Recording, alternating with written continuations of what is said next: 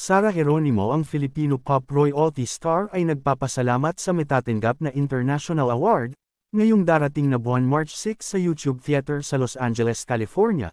Makakatanggap ang actress bilang isang Global Force Award, at Billboard Women in Music taong 2024, at ito ang kanyang sinabi. Honored and grateful to be one of the recipients of Billboard's Global Force Award. This is recognition belong to every dreamer and amazing people artist we have, mabuhay ang OPM. Mabuhay ang Pilipinas. Maraming salamat Billboard TH.